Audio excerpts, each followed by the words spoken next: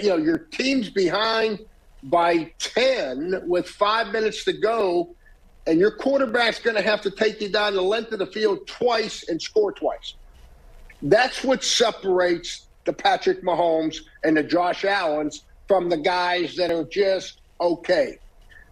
I, I just wish I could feel better and strong because I love Justin Fields as a person. I love his his makeup, his commitment, his toughness, obviously the athletic ability.